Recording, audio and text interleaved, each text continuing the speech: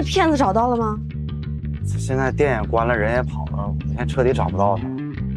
你把那骗子的电话和地址给我。有人吗？哎哎哎！你要找那种货，那你跟我走吧。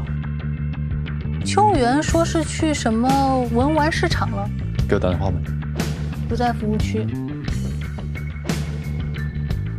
进来吧，我不害人。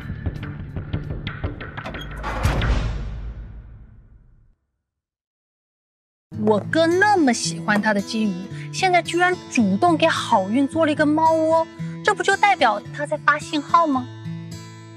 不是不舒服吗？去休息，今天放假。我哥听说你拉肚子，还特地下厨给你煮粥了呢。我们就要乘胜追击，直击他的心里。说不定以后只要他看到绿色，就会想起我来。为什么大虾仁会在我这儿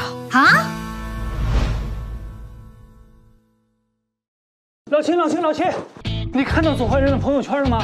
这秋元怎么还给他做面啊？还生活中的小确幸，你就烦烦烦烦死了！拿拿拿走！哎呦，师傅，你好点了吗？我马上就回来了。好多了，你回来注意安全。行啊，原来是铁树要开花呀！什么样的男生招女生喜欢？看好你。我给你一个白色的诸事皆宜蜡烛，你就在新月的午夜零点点燃它。那个秦志远好像是看上元哥了，他问生日不就是为了给他过生日吗？师傅，我能出去一下吗？那你晚上还回来过生日吗？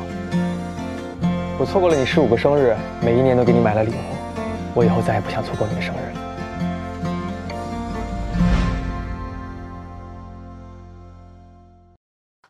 我喜欢上了不应该喜欢的人，帮你搞定他，追爱联盟正式成立。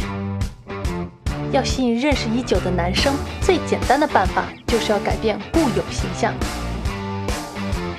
早，时而投其所好，时而冰冷无霜，做个令男人琢磨不透的女子。